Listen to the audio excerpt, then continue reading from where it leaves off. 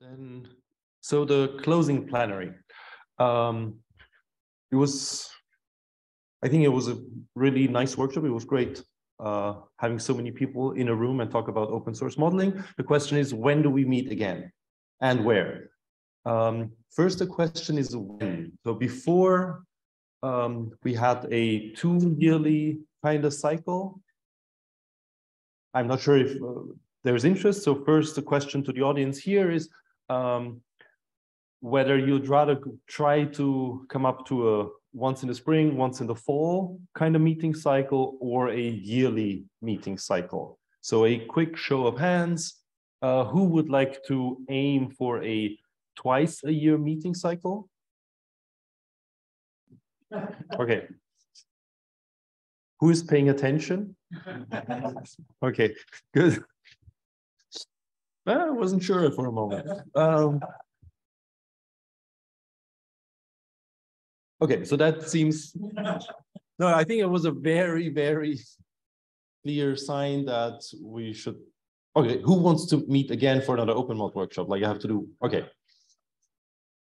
Yeah, just didn't want to assume that that means a one year cycle. Now I do. Okay, so we want to have another meeting next spring. That was that's my reading of the room. Um, now, where do we do it? There are three suggestions, one by Sebastian from CRESIM, um, where somewhere between TU Delft and Aachen, um, they, oh, Sebastian will investigate what is possible. Yeah, yeah, not yet promised, but investigating another by Sasha, I think, at, at Grenoble. Okay. But perhaps yes?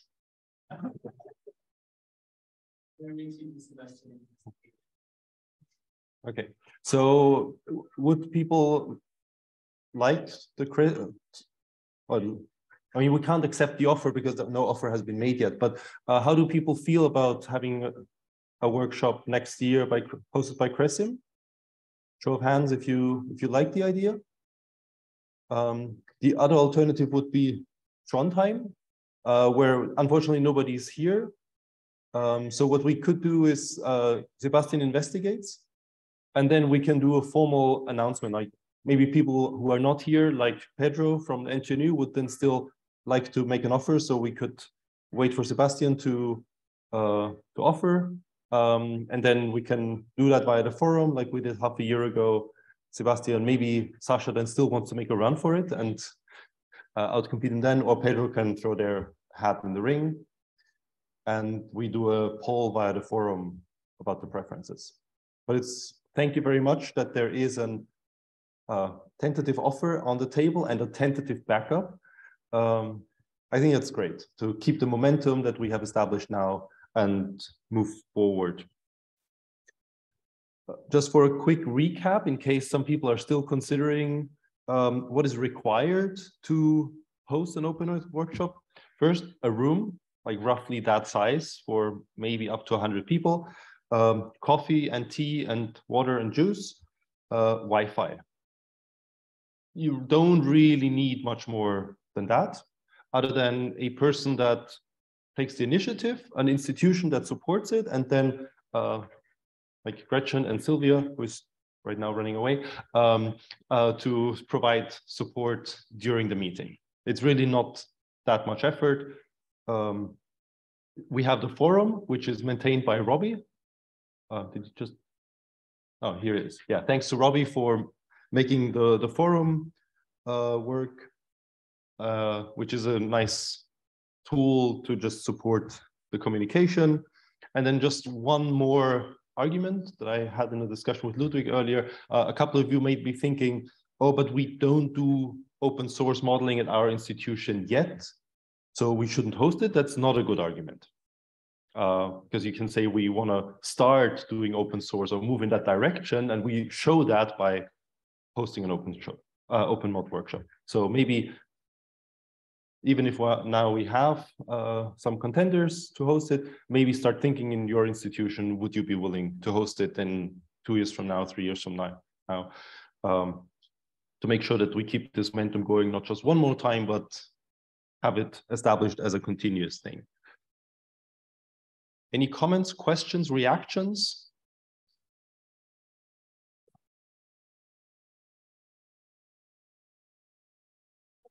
Yeah. I have heavy questions. I have no idea why that was for, but uh, no, no, no, no, no, no. I still have things on my to-do list. Um, uh, Noah, you wanted to make a quick proposal.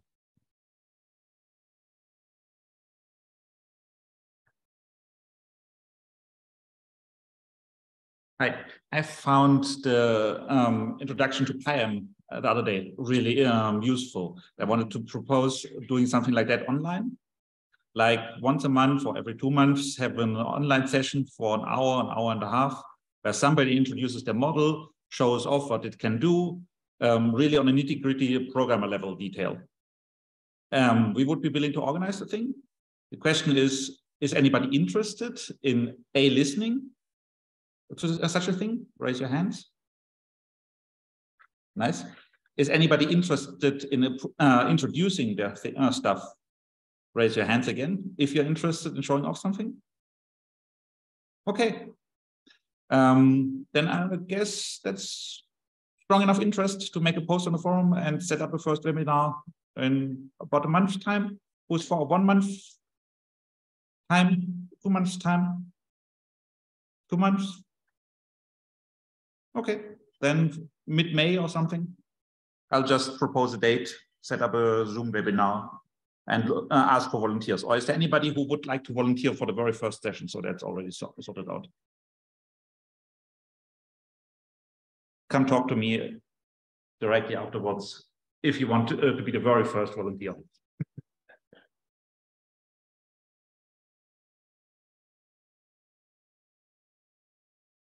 Yeah, so now to get some some feedback, some final interactive session, we prepared a Menti uh, questionnaire. So if you go to menti.com and type the numbers that are written here at the top, uh, two questions. First is one thing, one cool thing that you learned over the last uh, two days. And then the second question will be uh, feedback. What could be done better? What would you like to have had more of? Um, the two, two questions that which we can then pass on to Sebastian so that he can build on the experience here or Sasha or Pedro or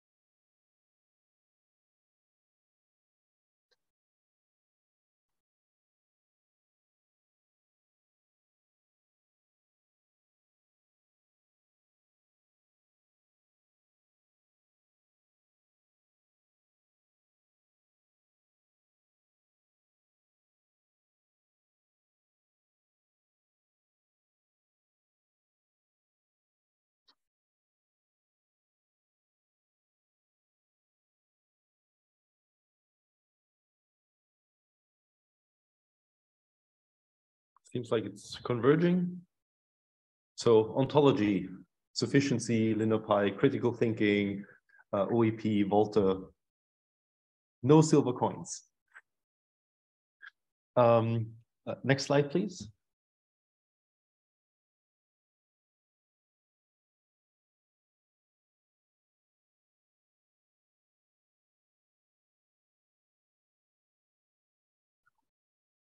Right, ideas for the next workshops. What would you like to have had more of? Uh, what could be improved?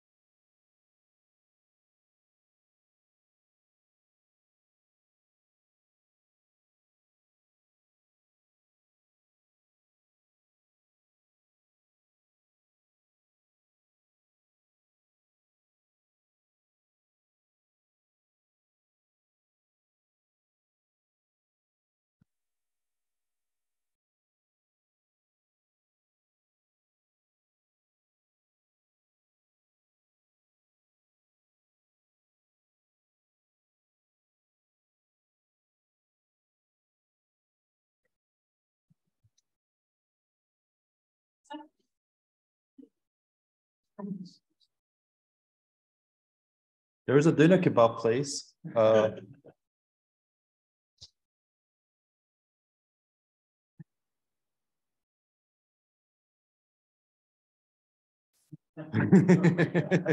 there is also a uh, falafel place next.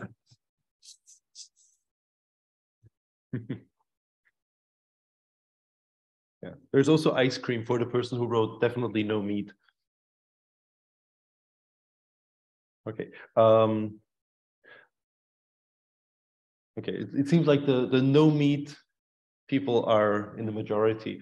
Um, we'll also collect all of that. I'll put that in the forum so that then it can be used for future reference for ideas. Um, so any additional comments? Anybody wants to say something else related to that or some other comments, requests before I close the session?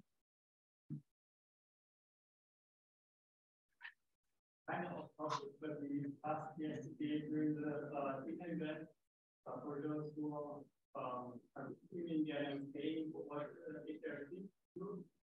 So I wrote down it's not too often because no, definitely. Yeah, thanks. Um,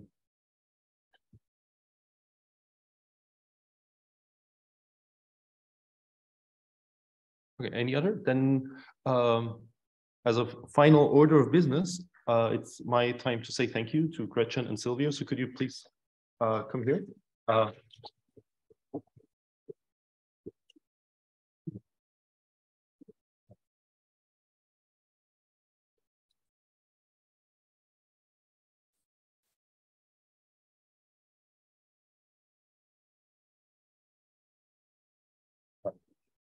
So Wizard of Oz reference, they were not hiding behind the curtain, but they were present behind the curtain. So um, as a little thank you for making this work so smoothly. I mean, it's it was just a very relaxed experience for for me. I think for everybody here that I talked to, and that's thanks to you. So uh,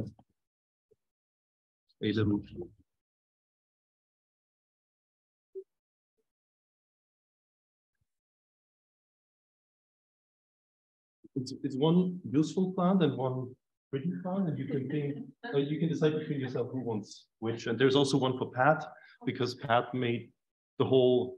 I mean, yeah, the institute said, okay, let's do this, but then she made uh, all the preparations and also dug into the budget and made it possible that we could just make that very easy by not having to ask for a registration fee and by just providing dinner yesterday uh, because Pat just made that somehow happen. So there's also something for her. Um, thanks to you. Thanks to everyone for coming here. I enjoyed it a lot. I hope you did too. And I'm very much looking forward to seeing all of you again in a year from now. Food is outside. Döner Kebab place is the other side of the road. Uh, and if you want to continue working, the rooms will be open. So if you now want to take that positive energy into directly uh, doing some more hackathoning, then you can stay here until Monday, 9 a.m.